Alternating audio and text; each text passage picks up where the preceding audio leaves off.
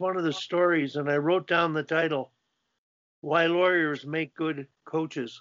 and it's an extremely good story because it always impressed me that uh, I don't know how much or if John Cooper's played or even how much you played, but it, it really isn't that important. It, it's having all the tools that go into what it requires.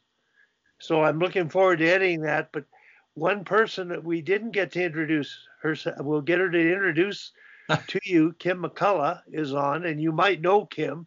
Oh, I know Kim. Yeah, probably recruited a few of her players, but uh, she may not have to tell you too much about herself. You know her that well, but uh, Kim, if you could introduce yourself and, and if you have any questions or thoughts or anything to add, go ahead.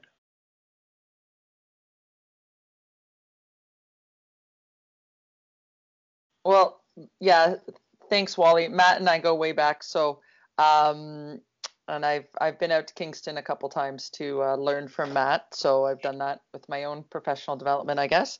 Um, but you know, I think a couple things jumped out at me. You know, I I one of the things I like most about Matt is that his dad is always around and helping out, and it reminds me a lot of me and my dad's relationship. And and I I know uh, one of the other PWL PWHL coaches had the same thing, Jeff, out in Cambridge, and uh, I just I, I, love that piece of it. Um, I'm very fortunate to have that, and I always uh, I always uh, say that our you know Matt Matt and I are our dads are really running the show. We're just the puppets. you know we don't we don't really know what's going on. The old guys are getting it done, but uh, and yes, Matt has uh, actually he'll have three of my former players I think next year, and three great ones, great people, and, and great hockey players. Um, and the things that always struck me with Matt are, are the professionalism, which he alluded to, and the integrity. Um, you know, so the way things are done at Queens are are done that way because of Matt. And um, I always think uh, when my players ask me about about Queens and and uh, the potential of going there, I always think it's a, a, great opportunity for them. But I did have a question for you, Matt, because um, you spoke about being calm under stress, and that's something that I'm also quite good at uh, but I find that my players are not quite good at. Uh, so, you know, we might uh, serve as examples for them, uh, role models for them. But uh, I find quite often when, you know, the fit hits the shan, as they say, uh, I tend to go to one place and be quite centered and like loving it. Meanwhile, they're in panic mode. so I think I take for granted that that's part of my personality, and I'm very comfortable in those you know murky waters and they're not. So how do you other than setting a good example for them how do you help teach them that? Because you know some of them may go on to be lawyers but they haven't done it yet.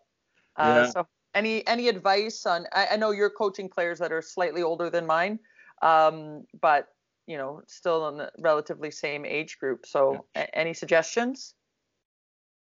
Great to see you um, you know and and and yeah you're totally right. Um, you know, my my dad is the unofficial mayor of wherever he happens to be at the moment, and uh, is uh, has been a great inspiration for me. And and I'm certainly lucky and fortunate that my parents moved to Kingston, and uh, that I can include him in this part of the journey. So. Um, and also back to you with with respect to your program. I mean, there's a reason why you know we've we've had you know a few uh, former players of Kim's on our team is because I recognize you know the development that they get before the next level. And that's a huge huge part um, for me when i'm recruiting players is uh, um, you know I, I don't want to spend all kinds of time working on their attitude or their work ethic. Um, you know i just want to get them into our systems and get going. And um, it's it's been a pretty consistent um,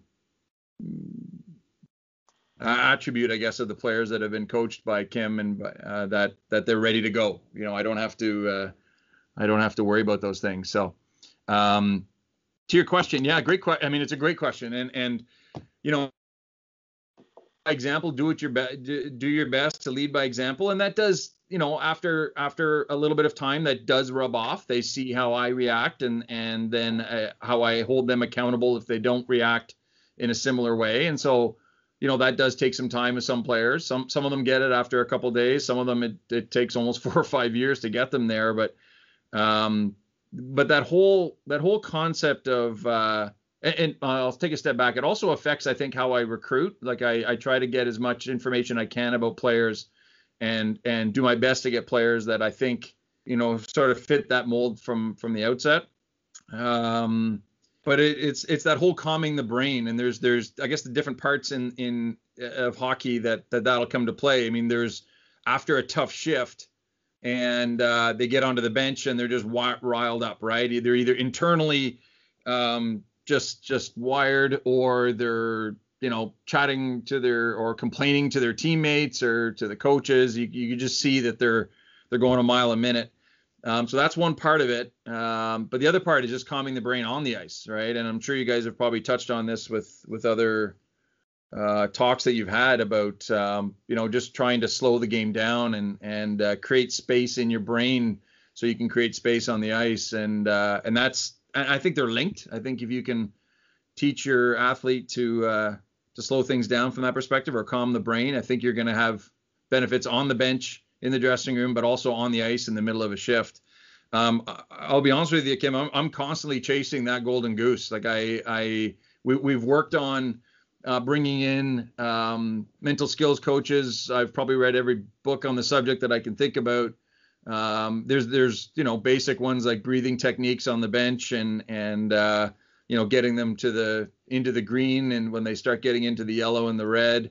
And every player has a different technique to do that and takes different time to do that. So I think that that's one thing that I have learned is that I think when I was when I was uh, trying to tackle this early, I was trying to to do a sort of one size fits all, what seems right for me kind of approach, and uh, and that's I think that's maybe 50% of it, but um, the other 50% is really trying to drill down and get to know the player and and find find out um, what what gets them into the red and you know hopefully what can get them down into the green. And some of them just need to be left alone just like a pat on the shoulder um, um, or just you know just to just walk over to them and just quickly say, you know, change channels or or whatever buzzword maybe you've worked out with them. Others require, you know, in between periods, you, you take them and the assistant coach aside and you just have a quick little 30 or 40 second talk. And some of them require a full on hour long meeting, you know, with them and your assistant coach sometime during the week to talk about it. So it's it's it's kind of a blend of trying to find those general ideas that are out there and and basically give them a toolbox to hopefully choose from and some ideas that they haven't used before but also you know trying to drill down and and seeing what you can do on an individual basis. But i i can't i can't honestly point to one thing and say here's here's the answer. Um, i think it's it's kind of a combination of all those but it starts with here's here's my expectations here's why I think those expectations are beneficial for you and the team, and obviously modeling that behavior to the best of my ability.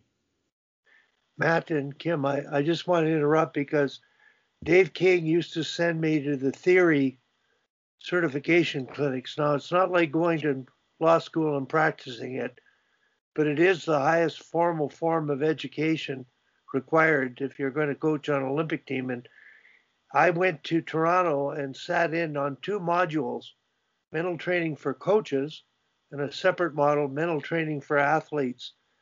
Um, I took that module back home and incorporated it in my high school phys ed curriculum, grade 10, 11, and 12. And then I applied it in teams I coached, and I basically volunteered to take over a high level ringette team because I was coaching my daughters at the younger age group totally for the reason of completing the task required to get past those modules. Uh, both teams won the national championships that year. I accredited to the module, which was totally based on uh, emotional control, and it applies to coaches and applies to athletes. So, without getting into it, I'd be you know be happy to Kim to share share that stuff with you. And I may have already shared part of it with you, Matt, but mm. I hmm. do I do have it. It's one of those toolbox things that I've always tried to give away, but when you're in the heat of the battle coaching, uh, it's really hard to absorb information and practice it until you've lived it yourself. And I had time to do that. So that's just something I had to offer. Go ahead, Kim. And uh, any other? Well, yeah, I just had a, a sort of to follow up on that. I, I was listening to a podcast yesterday with uh, Dan Church. Uh, it's actually a re- it's a really good podcast. My friend started it. I started coaching with her. It's called Coach Life 2.0. She's been interviewing a lot of um, coaches in in the female game, in female sport in general, for the most part. So Ken Dufton's on there, Lisa Haley, uh, uh, MJ, who runs it, uh, used to coach with me at Peak way back in the day.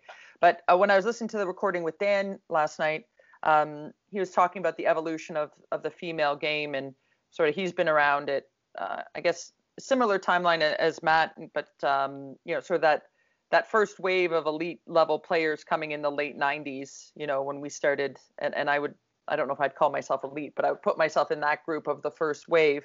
Um, and since then, the skill level has gone up exponentially in the in the female game, and I think you know anyone who's been in the female game would agree with that. Uh, and Dan's comment in the podcast was that those who had elite level mental game back then would still have that elite level mental game now, whereas you know the the elite level skill we possessed in the late 90s probably doesn't translate quite as directly to now, right? So that those mental skills are a little bit more uh, transferable across, um, you know, the ages of women's hockey. Uh, but I was curious, you know, from your perspective, Matt, especially getting players, you know, out of programs such as ours, you know, coming in, you know, what is I, I'm constantly telling players the advantage of having that strong mental game when they go to the next level, right? So, you know, I'm doing junior to university uh, but anyone else here could be going, you know, uh, university to pro or, you know, pro to Olympic team or whatever that looks like. You know, um, how have you seen players adjust mentally in that way? And and the players who already have those, like you said, the toolbox. What's the advantage that that gives them? Um, you know, from a a performance perspective when they're a rookie or a freshman. Yeah, great question. Um, yeah, I mean it's it's uh, it's not overly measurable um, per se, but but you know it when you see it, I suppose. And um, I, I, agree. Like I think that the even 10 years ago, most teams had one or two lines, for example, that were kind of high end or, or good skill, and then the third and fourth lines were uh, were ones that could be picked on, basically. Um, now most teams have depth to have four solid lines, and the skill level is is really um, you know crunched into the middle, if I can put it that way, or raised to a point where it's you know there, there's not a lot separating um, a good fourth liner from a good second liner at this point. So um, yeah, those those uh, not soft skills, but those those other areas become even more crucial than I think in previous years. So um, I mean, sleep, nutrition, um, but I think the, the mental skills remains. It's got to be one of the one of the one of the top, and and it is a huge huge focus for us. Um, you know, we've got a we've got a full time, actually two full time mental skills coaches uh, that are available to the players, either one on one or um, as a team. And then we've also uh, just added in the last year a mental health coach. And I found that's made a huge difference, huge difference because I think those things used to be kind of bundled in. And so you'd have a mental skills coach trying to deal with resiliency or mental toughness. And, and really you've got a player that's suffering from anxiety and, and there's overlap. Absolutely. But, um, I found that's been a bit of a game changer for us. So, um, we can make referrals to our mental health coach and she is dealing with issues like anxiety, uh, depression, um, and and it's a bit more of a clinical. And and and at that point, I am hands off. Like it is, I might be involved in the mental skills coach approach and and and what they're going over, but as soon as it gets into the mental health, I'm I'm I'm involved in the referral, but then it's almost become a doctor-patient scenario. And so, I think that's that was a critical separation of things. I think for us.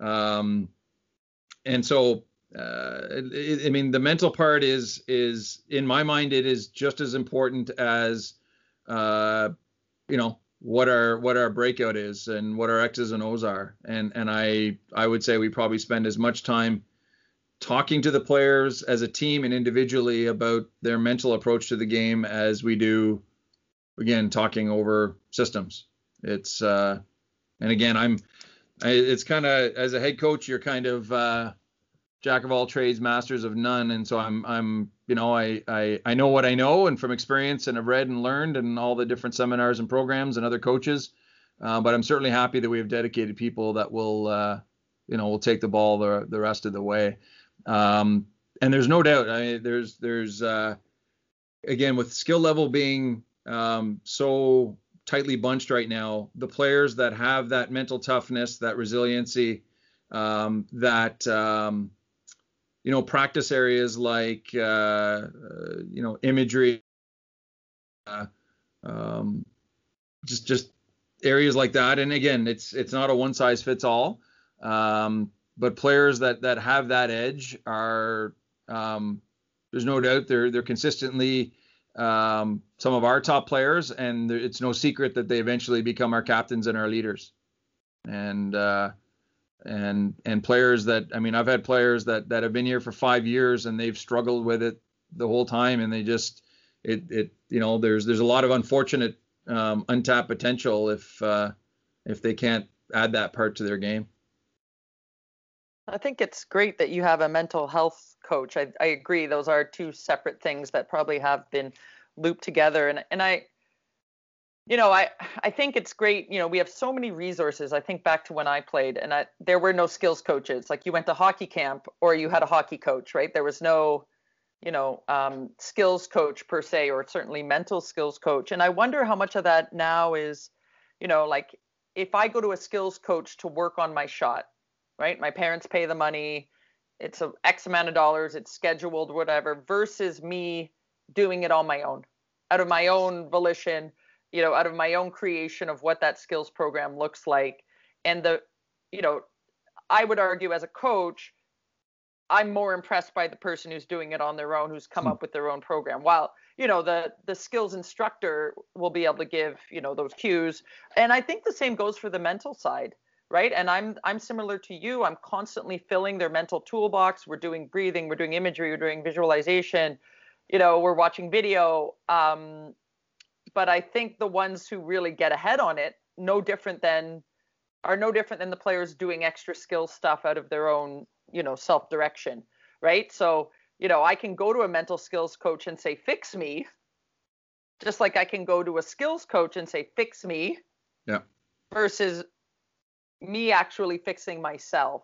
And I think that's whether it's hockey performance or mental performance, I think that's the difference. And the, you know, and again, the players I've seen who are, you know, truly elite on the mental side are the ones who are doing, you know, the visualization before the game or, you know, writing their goals down or doing, they're not waiting for Coach Kim to say, okay, guys, here's our visual. Like, I think yeah. it's great that we're filling that toolbox, but I wonder how much we're becoming over reliant on specialists, right? To say, oh, you've got to do this or you've got to do this or you're not, you know, I, I think of in yep. Toronto how many kids only ever do skills with a skills instructor.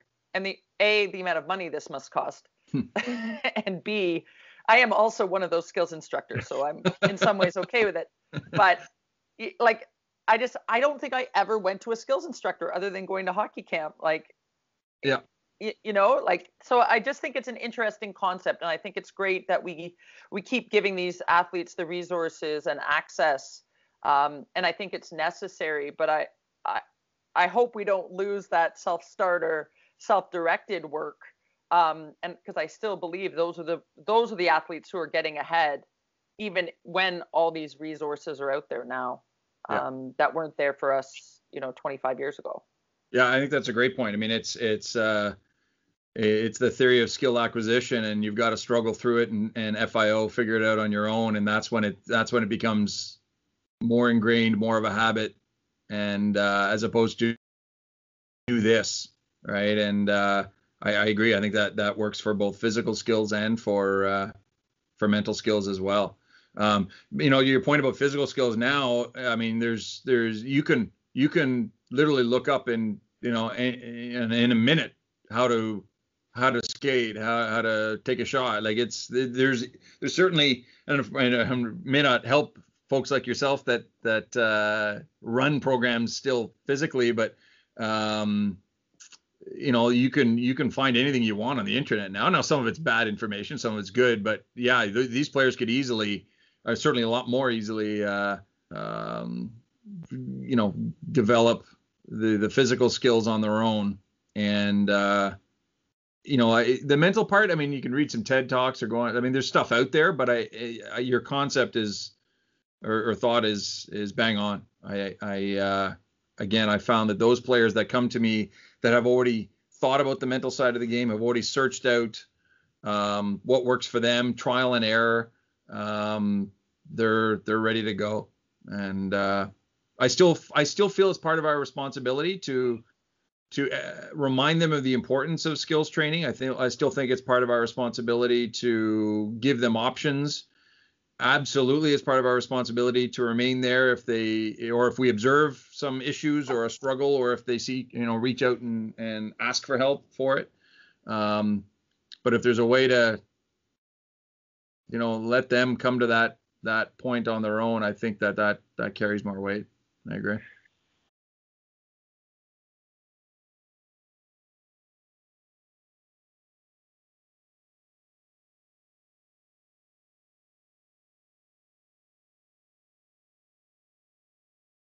I just want to mention one thing. Um, I've always felt the sports psychologist has to be you. And uh, you may have somebody to work with you, but how you coach, you are the one affecting how they're going to feel, how they're going to uh, control their mindset. And so all of the tools will probably come from you. Uh, the idea of handing off the mental training side to a specialist, this is usually what occurs. And I think the ability to be able to, from the get go, create a, a routine of uh, dealing with adversity and coping with adversity.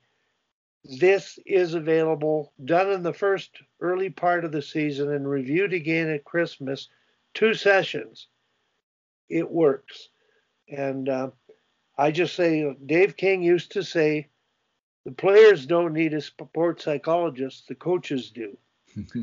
the stress on coaching at the competitive level, um, it, it's amazing. And I'm looking at what's happening right now with the Calgary Flames and the mental trainer that I know, Dr. Matt Brown, who's at the Ed School. And I wonder whether he's even involved in the uh, nuances of all that's going on there. But you know, the business hockey that's one thing. I'm more concerned about the the educational side, the student athlete side, and the growth and development side here. But excellent, uh, Kim and uh, Matthew.